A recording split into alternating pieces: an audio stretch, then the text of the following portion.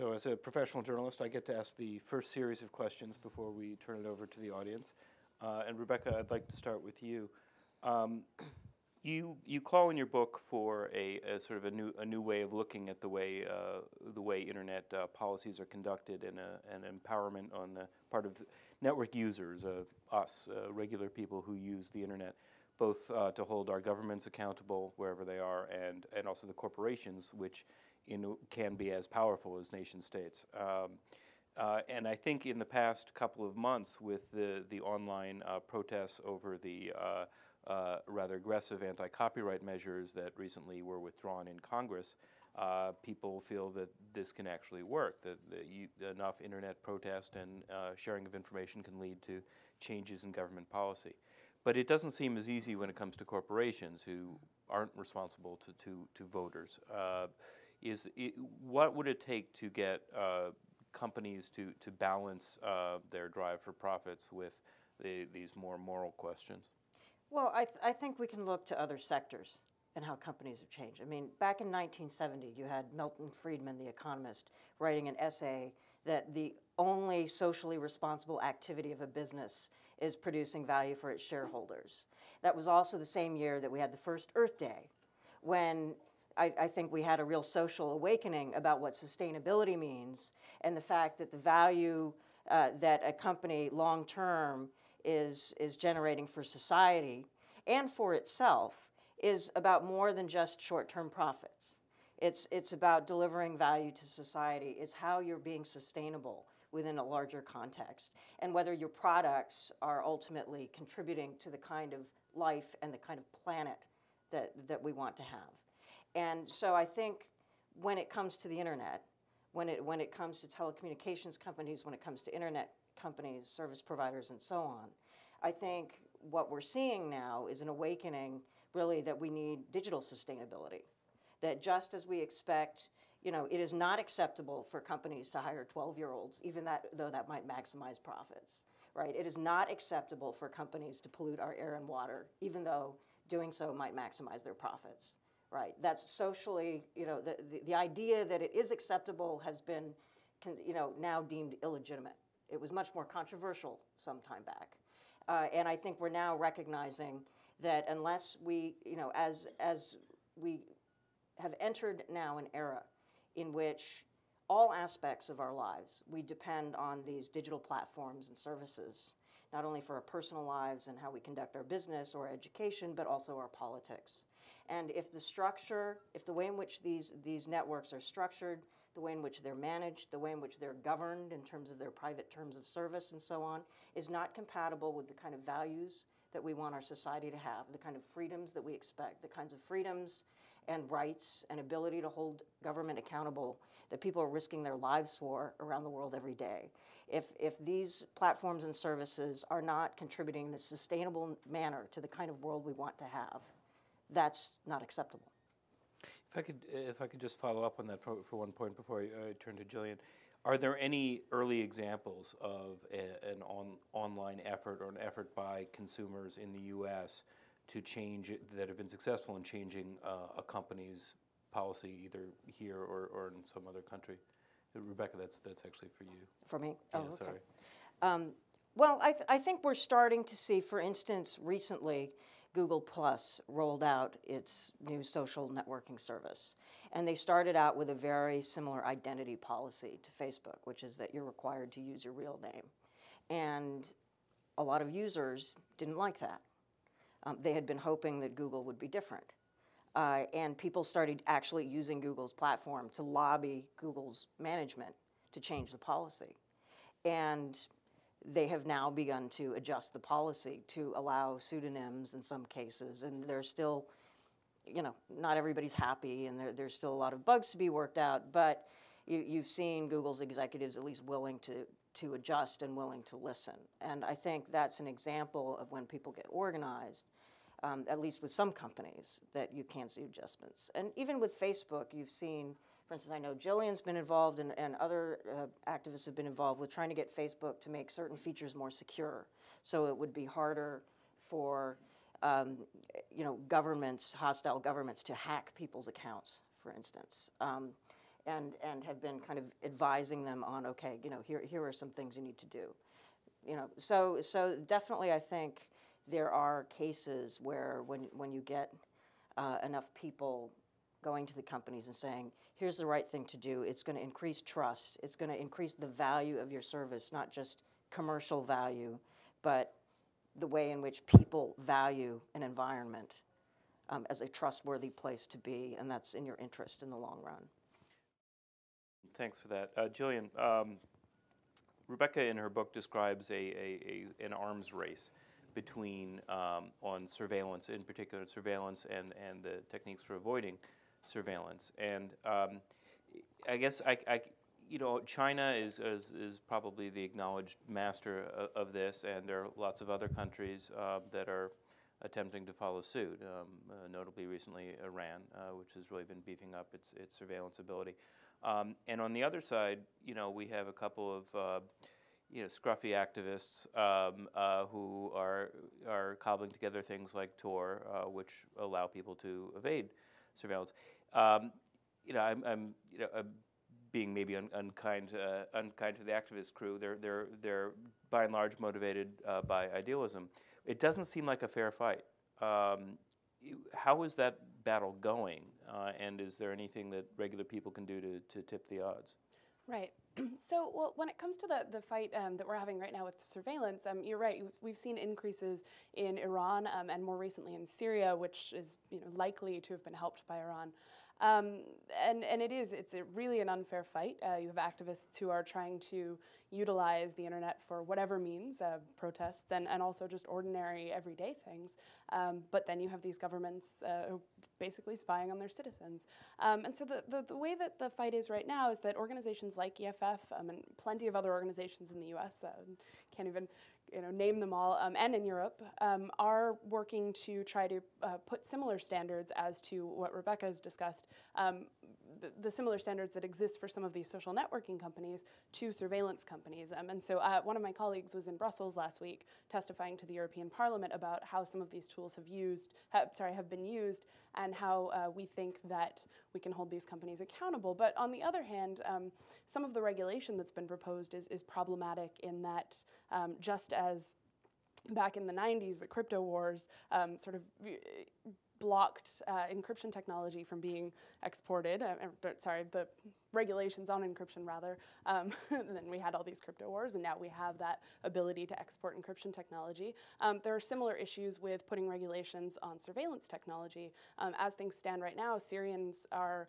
uh, prohibited from accessing certain communications tools because of existing Commerce and Treasury Department regulations. And so the fear there is to strike a balance um, between uh, you know, ensuring that the surveillance tools don't get in the wrong hands, but also ensuring that communications tools are accessible to all. Um, but it does seem like an unfair fight. And so, in terms of what people can do, um, I think that really we should be looking at the same sort of model of lobbying these companies. Um, users need to be aware, uh, not just users, sorry, because um, you know, obviously a lot of these have multiple uses, um, but stakeholders um, and, and you know, sort of everyone in, involved in this process needs to be aware of how these tools are being used. Um, and in the past year, I think we've also seen a lot of excellent awareness raising on the subject, not just from rights groups, but also if you look at um, Bloomberg's coverage, has been quite incredible in terms of uh, sort of delineating how and where um, and what uh, is going on. And so I do think that, that people are becoming more aware. Well, it, it's, it's, if I could follow up with you on that, um, they, it's nice that they, they call things uh, like the wiretapper's ball. I mean, it, it's you know it's mm-hmm. actually fairly accessible to the general public. I mean, you, you see a problem there. Um, but if we could, if we if we look at the, the, the that export issue, there, as I understand it, there are virtually no regulations preventing the export from U.S. and, and uh, European countries of some some pretty uh, capable equipment uh, to uh, some unpleasant places, except for the ones that we officially have no dealings at all with um, because it's all dual use. It can be, can right. be used for, yeah. for stopping porn or catching bad people, and it can also be used to, to spy on everybody. Um, is, is there any is there any way to change that? Is there any way to um, to uh, either have greater restriction, or, or do you think that there's some chance of investor or public pressure on the companies? I mean, it's hard to imagine um, uh, I hate to pick on them, but there's a company called Narus here. I mm-hmm. mean, they don't sell machines to you know ma and pa in the street, and I don't think if there was a a EFF inspired boycott, it would really make much difference to their bottom line. So how do you, how do you how do you impact companies like that? I, I guess that's for, that could be for mm. both of you. Right. I mean, well, there is there is a big difference. I mean, you know, some of the companies do produce tools that are used for home use as well, and so in those cases, it's much easier. But when you've got tools like like what Narus produces, um, you know, EFF has advocated a set of know your customer standards, um, where whereupon you know companies would be required to be transparent about who they're selling to, what they're selling, and what it's going to be used for. Um, that's our our position at the moment. I've seen other proposals from other uh, organizations that you know also deal with similar um, similar ways of handling it. Um, but uh, you know, I do think it's a difficult fight, and I think ultimately we will have to force the hand of these companies to be transparent. I, I mean, without the without the shareholders, it, it is quite difficult to to get them to move on that. Yeah, definitely. Definitely, I think you know we're, we're starting to see socially responsible investors move into this sector, and they haven't been thinking until recently about technology companies in, in terms of the downside and whether there are certain companies you just don't want to invest in. Um, and so that's certainly part of it. I think part of it is just greater awareness. A lot of these companies, like Narus, for instance, you know, they've been getting away with it with no public reporting on what they've been doing or, or anything else um, for a very long time. Um, and, and so uh, there hasn't been enough reporting on a lot of these issues. Um, there, also, as, as Jillian says, these, these companies are not required to be transparent and report on where they're selling. Um, also, you have a problem. That the U.S. government is also one of the biggest customers of these tools, and European governments are massive customers of these tools. Are they saying anything to the companies? Are they expressing concern about who else is, is you know, being sold these technologies and um, trying to exercise uh, some kind of influence through their buying power in terms of, you know, we're only going to buy products from people who set certain standards about, you know, the, the human rights standards of the, the countries they're working with and how they're being transparent and, and reporting requirements. I mean, the, the US government, even if you don't have a law, they could have standards for their vendors about, you know, we're going to require, if you're going to be a vendor for us on surveillance and security technology, we need to know certain things about what you're doing and we're going to report that publicly. You know, they could do that if they wanted to, and that would have a huge effect. Um, so there's, there's a lot that could be done that would at least shed light on what's happening.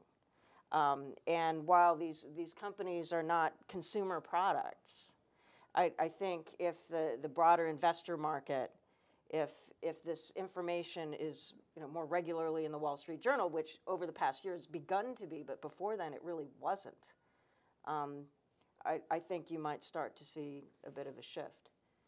Okay, um, let me let me talk a little bit about um, the the face of activism as we see it now. It, it, it's more it's been morphing a lot. The sort of digital activism. Um, uh, certainly, it was it's it's had it's it's sort of entwined now with the Occupy movement um, and probably most other movements from here on out. It seems to be like a fundamental part of the uh, of the uh, program now.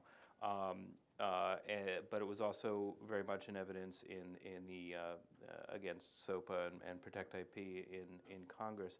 But but still, the thing that I think most people think about is anonymous, um, which is kind of uh, mobby and does things that are against the law.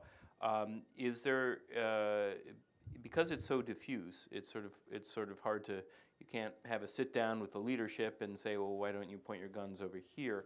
Um, but for both of you, is is is is there much hope of uh, of that getting uh, moderated or channeled, or are people so if if people are annoyed with the behavior of companies or governments, is that just the easiest thing to do to sign up to participate in a distributed denial of service attack against something they don't like?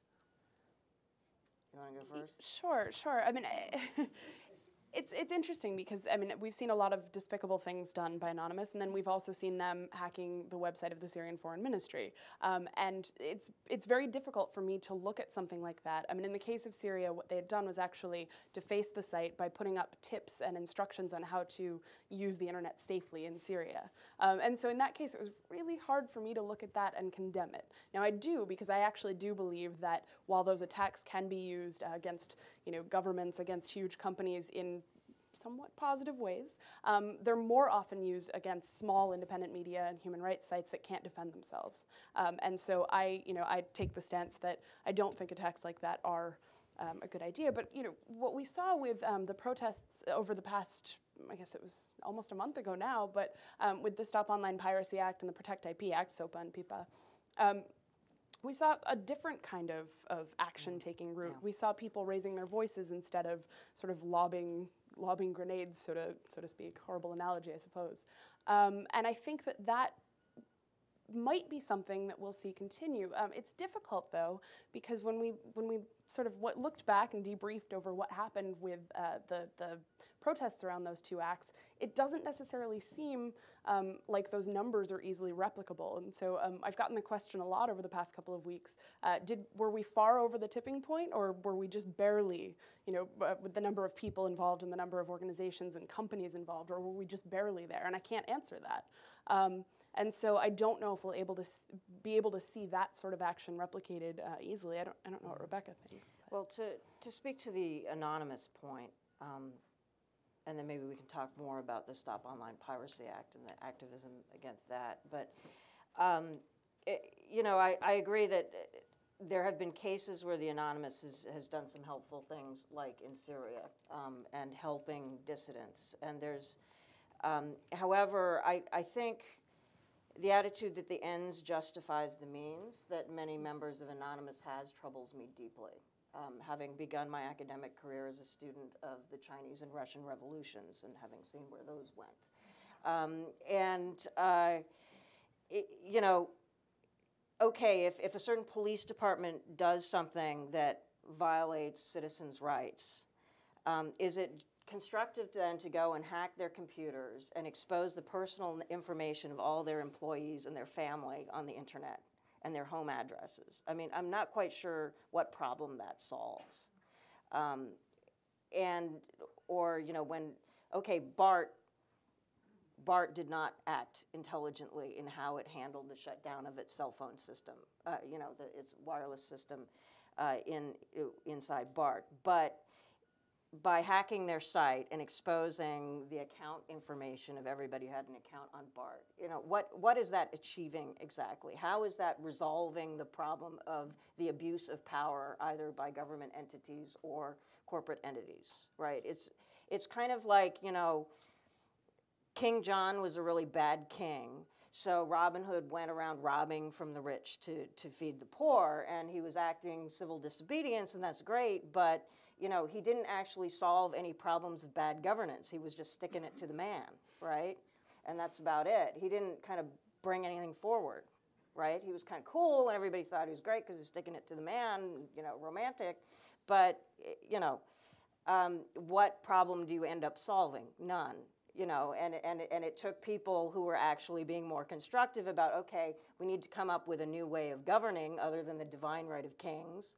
Uh, and we need to have you know, to, to build new structures that hold power accountable, you know, which eventually led to the American Revolution and so on, that, that actually kind of helped to solve long running entrenched problems of bad governance, right?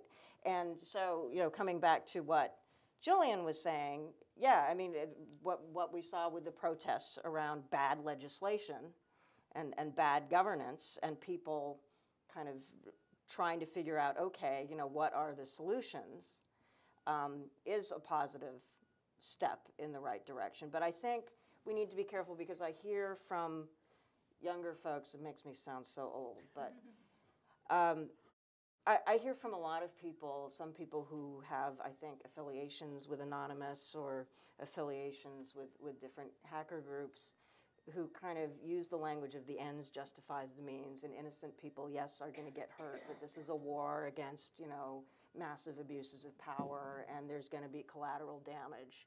And that language really scares me because, again, I started my academic career studying the Chinese and the, and the Soviet revolutions, uh, which, you know, also had similar language and didn't turn out so well as far as human rights were concerned.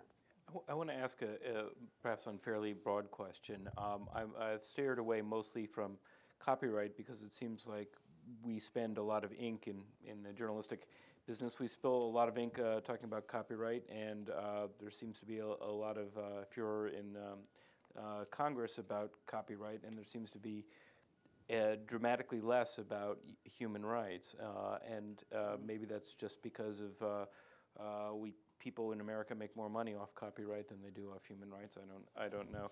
but um, the broad question is, um, are the, um, is there a, a lack of balance in the discussions about not just copyright but also security? Because there's a, we have a, a, uh, a very big omnibus cybersecurity bill that is rearing its, its head again in the Senate and may or may not pass. There have been lots of uh, smaller cybersecurity efforts, but um, it seems like if it, that follows the model of the copyright language, it can be pretty mm-hmm. short-sighted technologically and uh, in terms of people's um, individual rights. So I, I wanted to ask both of you to take a whack at uh, at where copyright and security versus mm-hmm. Privacy in terms of where the government is putting its uh, emphasis. Yeah, well, if I could just take a crack at it first, I think this is, we're facing a common problem with internet related legislation, not only in the United States, but I think around the democratic world, where legislators are faced with a problem. Okay, we have attacks on our network, or we have theft of intellectual property, or we have child porn, or we have cyberbullying. And constituencies are screaming, do something, you know. And so they want to do something to resolve that particular problem, what, whatever basket that problem happens to be in. And so they go for a solution, and, and without really thinking about how that solution is going to affect these other areas.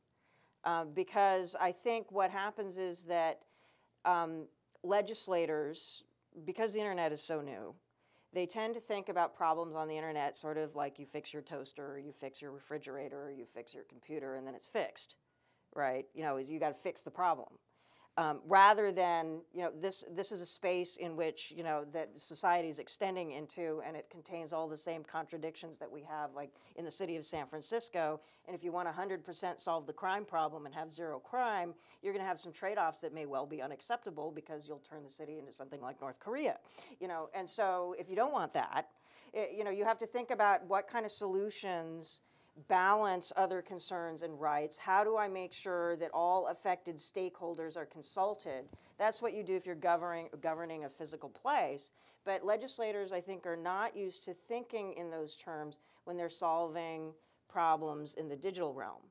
And I think what was good about what we saw with the Stop Online Piracy Act and, and the debate about this particular legislation, which was trying to solve a problem, and it was like in response to one constituency that was screaming about the problem without consulting with everybody else who was going to be affected um, to see what are the other ways of solving the problem that might not uh, be quite so damaging for free expression and put technical mechanisms that look like the Chinese firewall and legal mechanisms that, that you know, impose kind of unacceptable burdens on on internet companies to police their users, you know, and like just just water, you know, just have a broader conversation about what the solutions are. Just as you have a broader conversation, you know, coming back to security, right?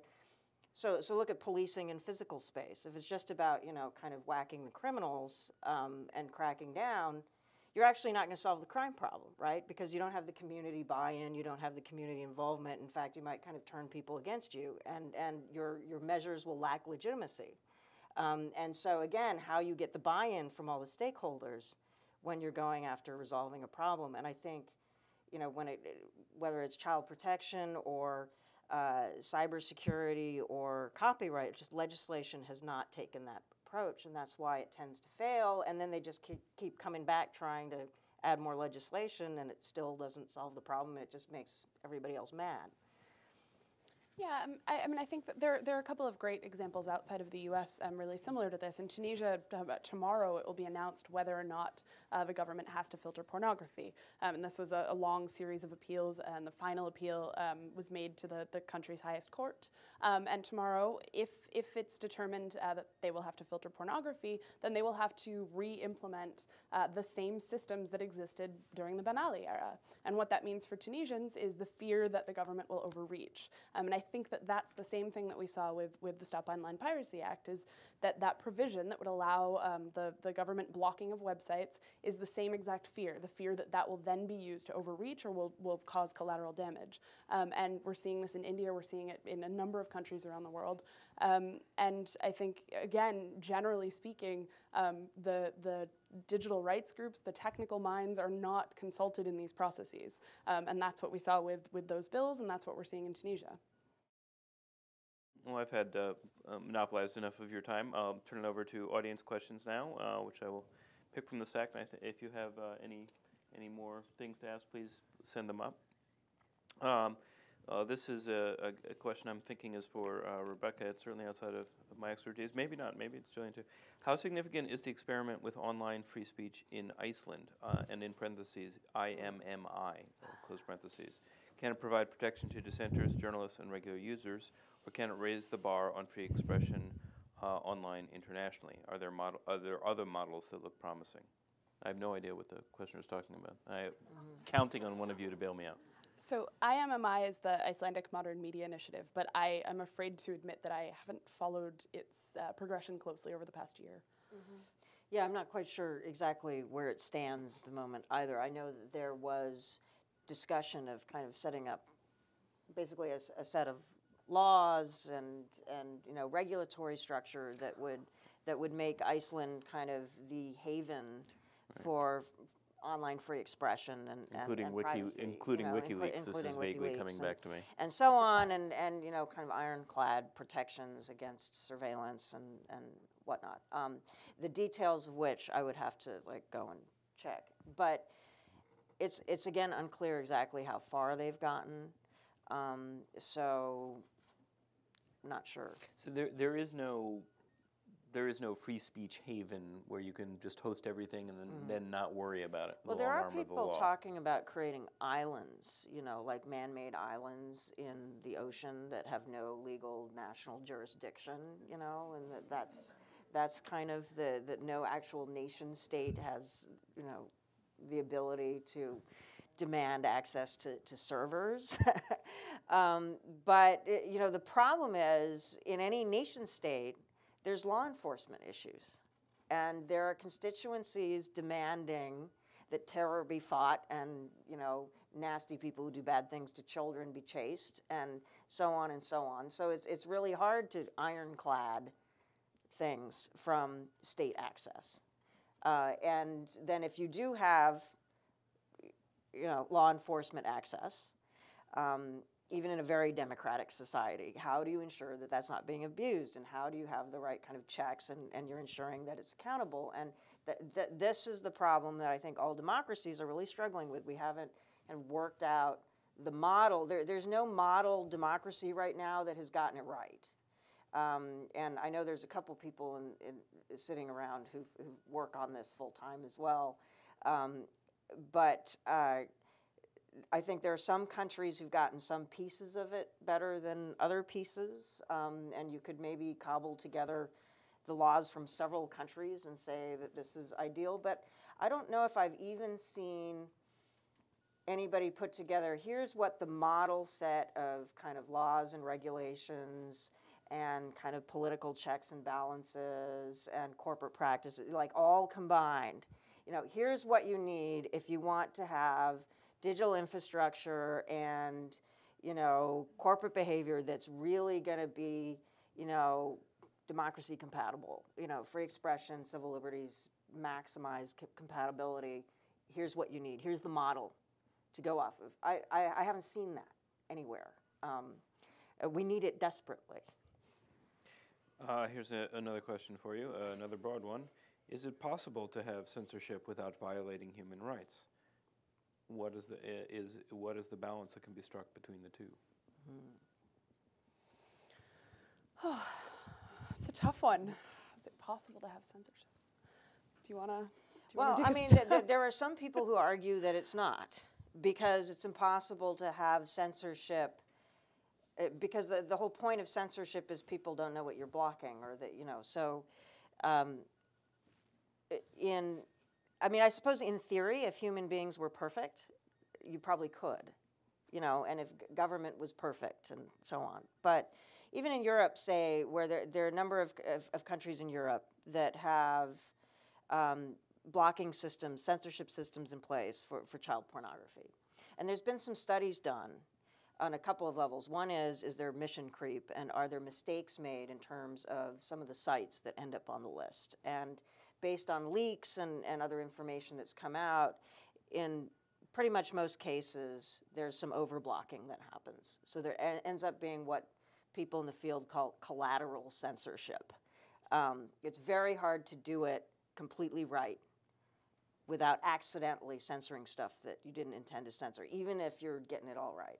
It's also very easy for stuff to get on the list kind of in weird ways. So in, in the UK, um, there's there's kind of it's it's not sort of mandatory, but there's there's this kind of watch list that most of the internet service providers use for blocking child porn. And for a short period of time, WikiLeaks was I'm, I'm sorry, Wikipedia. Uh, parts of Wikipedia were blocked because there was an Oasis album cover with a prepubescent girl on it, and somebody in this organization making the watch list put that Wikipedia page on the list as child porn. Um, and so there, there are these borderline cases that sometimes end up on the list, and then who's deciding and who's exercising that power, and how do you get it off the list? So, but the other thing too is that people who've been doing research on censorship of child porn specifically, you know, then they're asking the question: Is it actually solving the, the child porn problem? Is it actually resulting in a reduction of exploitation of children? And the answer is it doesn't look like it is. It's just putting a band aid on the problem for the general population. The sick people who really want the material are still finding ways to get it. And the people going out there kidnapping kids and exploiting them are still doing it. And so it's actually just putting, you know, diverting people's attention from the problem, and not enough police resources are going into the hard problem of human policing. Um, so that's the other issue with censorship is in, in how, and, and there needs to be a lot more research, like in what cases does censorship actually solve the problem you're trying to solve? Assuming it's a legitimate problem in the first place, like child porn is certainly a legitimate problem.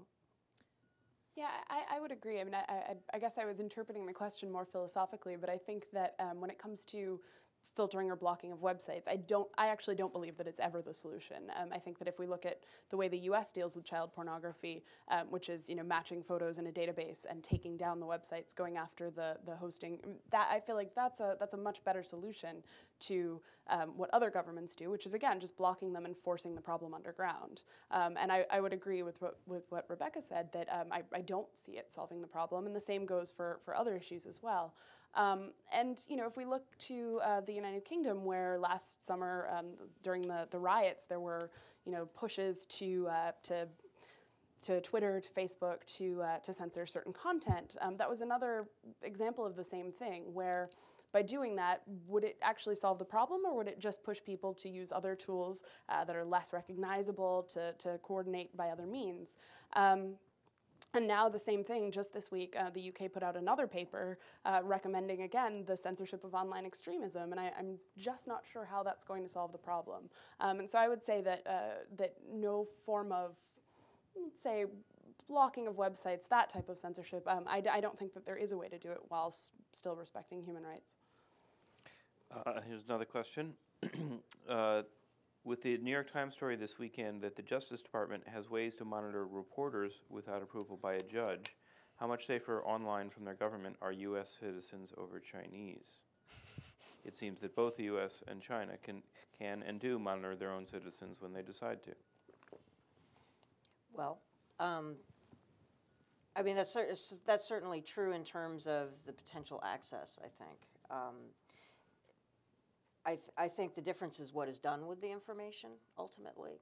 I, I mean, there are a few more controls in, in, in terms of what the US government accesses under what circumstances. All those, those controls are excessively loose and excessively unaccountable um, and not sufficiently subject to constraint. Um, that said, though, you know, in China, you can post a tweet and have somebody, a, a policeman, show up at your doorstep and take you into detention.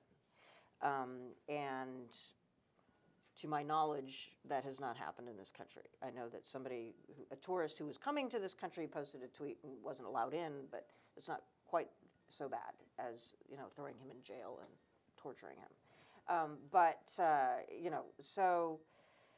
Uh, but I, I think we are definitely um, entering into, I, I think, a recognition that if you really want to be untraceable, if you really want to be completely sort of not monitored, or you want to be ironclad, ironclad sure that you're not monitored, don't conduct your conversation electronically or your inter- interaction. You need to be completely analog. And uh, journalists and diplomats working in China have kind of assumed this you know, from the beginning. You know, you're, you're going to a meeting with a source, you leave your cell phone at home with battery out, and you don't arrange the meeting electronically. Sometimes you just show up at somebody's house and then go for a long walk, you know, and even then, you know, you might be seen. So, you know, um, but uh, yeah, um, if you really, you know, the U.S. Postal Service is certainly the most secure way to communicate with people. That's absolutely true. You know, handwritten letters. Um, you know, you need you need a warrant. The government needs a warrant to read your mail. It's really clear. The, the protections are very clear cut. And to read your email, they are not clear cut at all. And there are all kinds of gaps and loopholes. You know, if your if your email, if you're using Gmail or Hotmail or Yahoo Mail or whatever, and your email's o- over 180 days old, it's just totally fair game because you know the, the law regarding electronic communications and surveillance and government access was written back in the 80s before you even had the World Wide Web and when they assumed that if, if email stored kind of by a company server, it, it had to be abandoned. Um, and so there are all kinds of loopholes. And, you know, the EFF did a study that came out last year that came to sort of national security letters that are issued to, to companies um, you know, for access to, you know, so-and-so's account or, you know, the set of accounts and so on. And the percentage of requests that were actually of dubious legality was quite high. And the percentage of instances in which the companies actually challenged the legitimacy of the request was quite low. so, so even things that companies could challenge, they're not challenging, you know, on behalf of their users, and that's that's even the kind of more troubling thing. And of course, if a company um, like AT and T was found to have done a few years ago, uh, uh, collaborates with blatantly illegal surveillance. So, for instance, you know, uh, in 2006, I believe it was, a, a whistleblower who had just retired from AT and T let it be known that, actually, here in San Francisco, um, uh, the the NSA had this secret room, and they'd gotten the engineers to funnel all communications through that room, you know, and it, and it was being captured. You know, there was no kind of warrants or subpoenas or national security letters being issued to see whose whose information could be looked at. It was just all being hoovered in, and. Uh, you know, the EFF and others tried to sue AT&T with a class action lawsuit, and it was thrown out. Why? Because AT&T is immune from liability for collaborating with blatantly illegal acts um, from uh, from a law called the FISA, you know, the FISA Amendments Act, um, and so which Obama, as a candidate, said he wanted to overturn, and then, you know, soon before he got elected, decided, well, maybe not, and you know, now he he definitely doesn't want it revised, and his administration is not not favorable to revising the Patriot Act either, and and the the kind of gaping um, lack of accountability um, when it comes to government access to information in, in that sense. So um, we are not China by any means. I can tell you, I've spent enough China to, to know that uh, the United States is nowhere close to what it's like in China. If you're trying to organize a protest, you know, Occupy Wall Street would not happen. um, you know, they had Tiananmen Square, they occupied Tiananmen Square, that didn't go so well. Um, and uh, people trying to do that since uh, don't fare so well. Um, but uh, still, there are very troubling trends. Um, okay, I think that's a, a pretty thorough, thorough Went answer. on too long. Um, another question uh, from uh, from Mark Glaser: uh, What happened to the money that the State Department of the U.S. Uh, had to promote internet freedom? Hillary Clinton gave a big speech, and what happened next? Ah. So, see if I can give the, the broad overview rather than the, the detailed and, and whiny one. Um, so, uh, a lot of that money has gone toward tools, uh, circumvention technology, Tor also, so anonymity uh, enabling technology, tools that are used by people um, here, used by police, used by people in other countries. Um, and so, tools that I would call for the most part, relatively neutral. Um, and some of that money has also gone toward trainings, um, less neutral. Uh, and then, of course, you know, we've also seen, that's my brave, uh, we've also seen, um, you know, a lot of contention over which tools that money's going to, whether those tools are effective or safe, um, and of course, who they're targeting. And so there's been a lot of, of back and forth in Washington um, over funding of specific tools, and I won't get into that. Um, but what I would say, you know, sort of the broad answer is that I think that um, those tools have been incredibly useful in enabling the safety of activists uh, in, in a number of countries all over the world. In that sense, they're, they're wonderful. Um, but in terms of the rest of where, where that money is going, I haven't seen. I haven't seen a whole lot of, uh, you know, sort of output there. I haven't seen um, trying to kind of couch this in the right language, but you know, I just I just haven't seen proof um, that that money has gone to the right place and that it's really making a difference. And so, um, you know, circumvention tools are wonderful. Uh, don't get me wrong; they do help people get around censorship in a number of places, but they're not a silver bullet.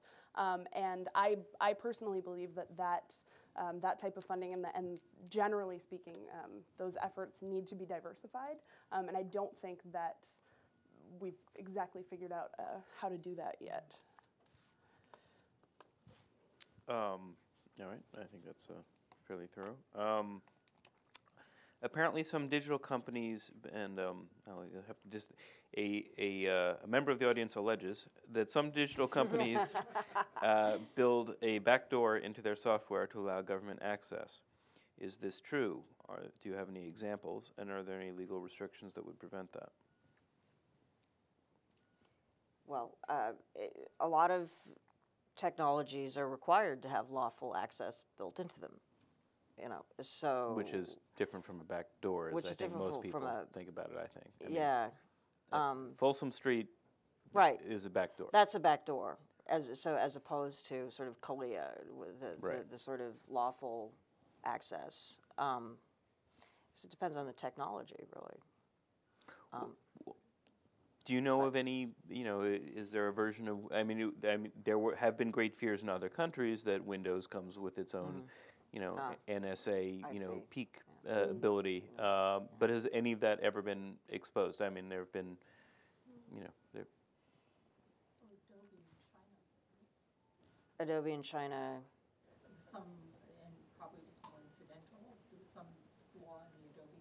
well, it was, it was hacked. Adobe was hacked, um, but but th- there's a lot of software that has flaws in it that hackers then exploit exploit um, to access, you know, other people's computers. Um, but that's not the same as a, a backdoor.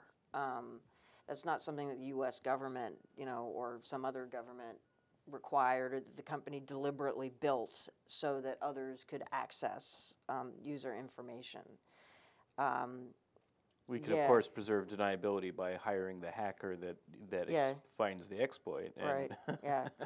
Um, I mean, I, I- not knowing, you know, what the, the intent of the person writing the question was, I mean, I think that it, it would be worth pointing out that, you know, a number of these companies even if they don't have backdoors, and I, and I actually can't think of a good example at the moment of one that does, um, but that a lot of these companies don't have safeguards in place um, for how they deal with legal requests from other countries. Yeah. Um, and so uh, obviously this is Rebecca's area of expertise um, and goes back uh, to you know sort of why some of these uh, uh, protections are now being put in place um, and why some of these multi-stakeholder initiatives are forming. But at the same time, you know, we still do see companies, uh, examples of companies handing over information to foreign governments without much consideration of what that uh, what that you know sort of legal process is.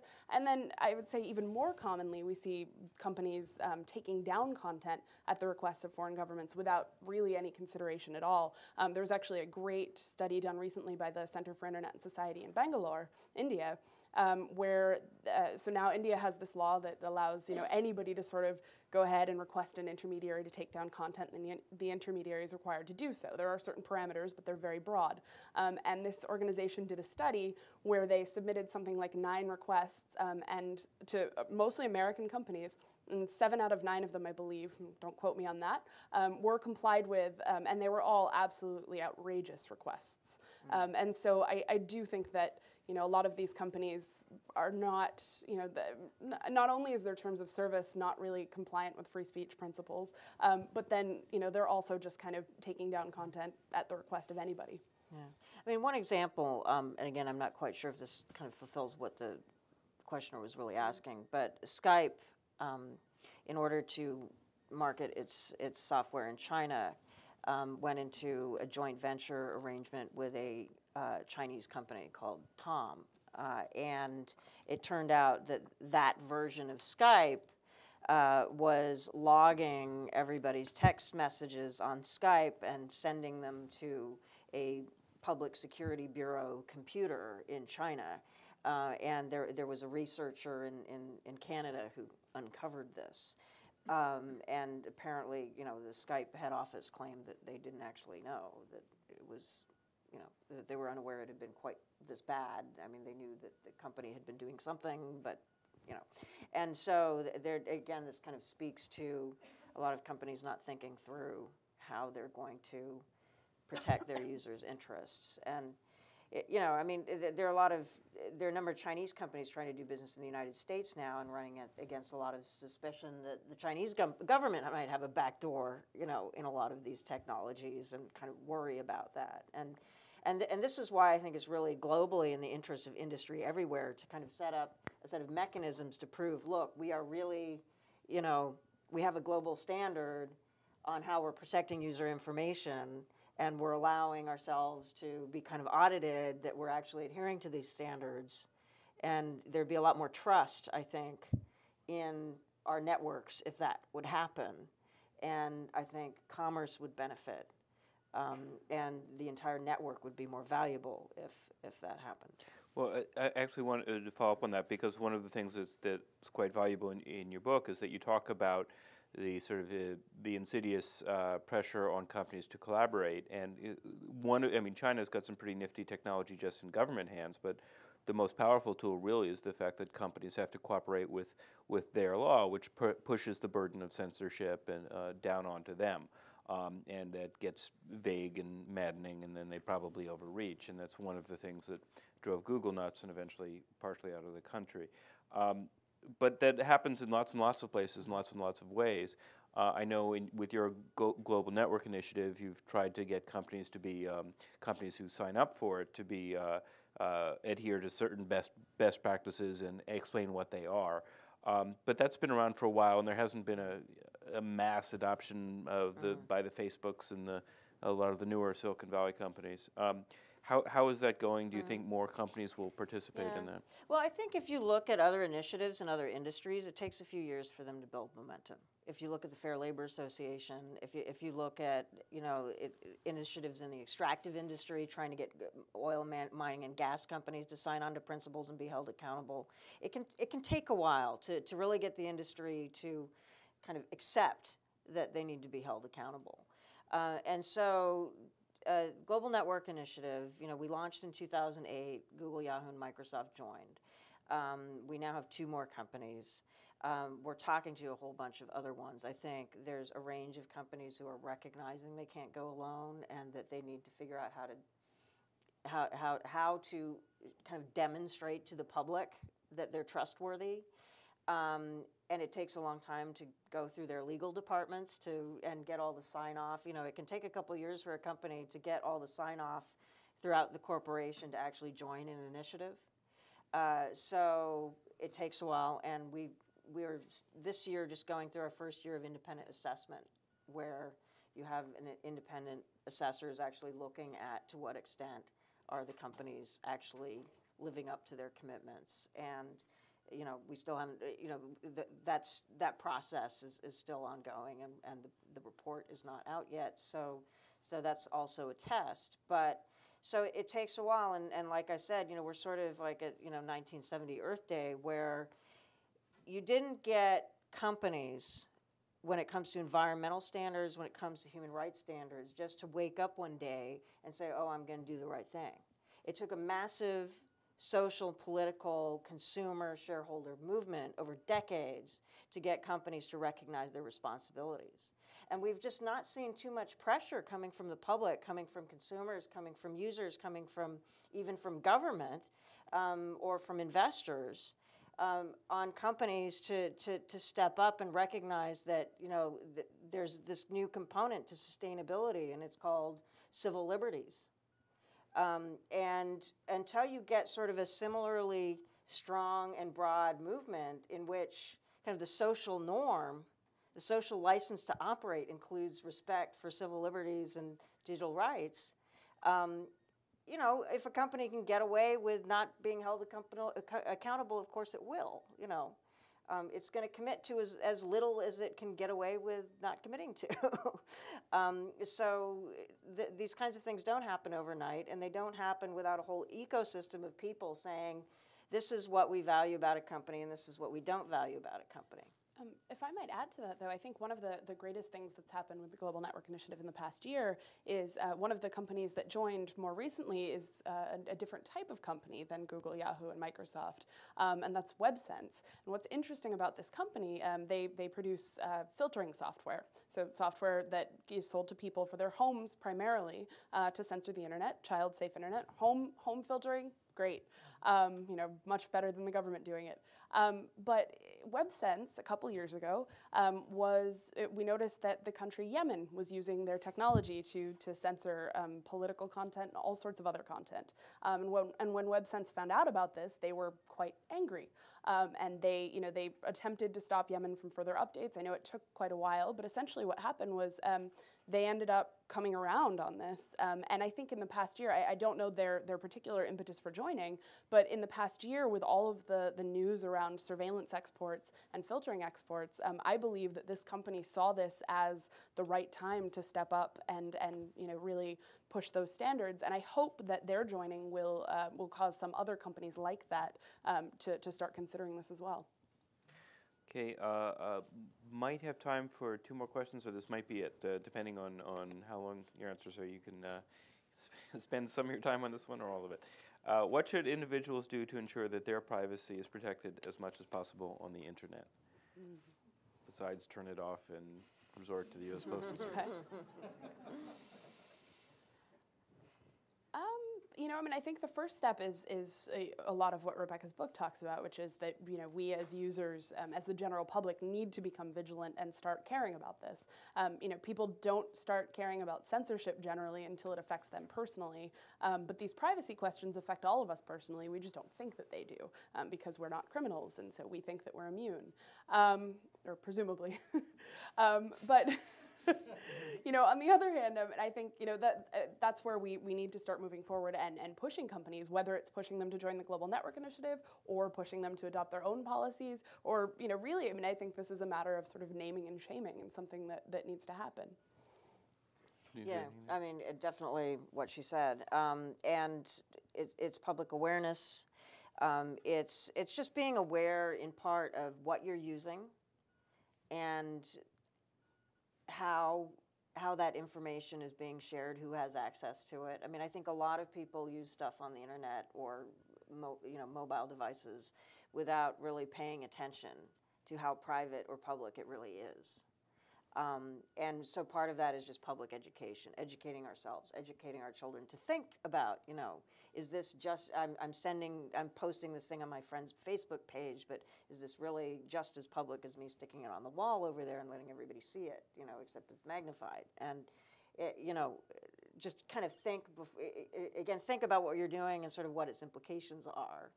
Um, and a lot of that is just socialization because the technology is so new. You know, we socialize our kids to look both ways before they cross the street. You know, um, there was a time when nobody was used to cars, and you know, it, things were much more chaotic. And then you kind of socialize yourself to live in a new kind of environment with new technologies, and we haven't kind of socialized ourselves to this. So, so that's part of it too. I think, just in terms of education. Um, you know, from primary school on up. All right, let me, let me get one last quick question, and and I'm going to synthesize from a, a couple of the questions in here, because this is one of those uh, relatively new thing, uh, things, and that's the targeted advertising and the sort of the deep mining of information about individuals. Now, supposedly this is to show dog lovers ads for dog food as opposed to cat food. Um, but it all sort of goes into this world of shadowy middlemen who are auctioning the right to advertise to you in a split second. Um, is is that the only place it goes, or is it going to go someplace else that might we might find very unpleasant? Yeah, yeah. A security consultant who works for certain government agencies can then buy the information and then kind of work out what your preferences are, and then maybe it might get used as part of an investigation in ways that are, you know, not Well, appropriate. how paranoid? how paranoid should we be? How paranoid should we be? Uh, let's all go. You know, it's you know that that's a. I I think we need to demand transparency and accountability, and we need to be aware. Um, and I, I I think though that we've gotten to the point where yes, a lot of information is collected about us. Um, we need to require that companies obtain more permission before they collect information um, that they're more clear about how it's being used and sold, and that there be more regulation about things being resold and, and, and so on, and, and that there be more reporting on it. Um, so that at least if something's being abused against us, we understand who to hold responsible for it. And, and, and this is, I think, a lot of the problem is how do you constrain the abuse of this? Because sometimes we consent to the collection of our information because it's convenient for us. And so, okay, maybe we want to do that. But we also want to make sure that that it's not abused for purposes that we did not consent to. Um, and right now, we just don't have the mechanisms to pre- prevent that abuse.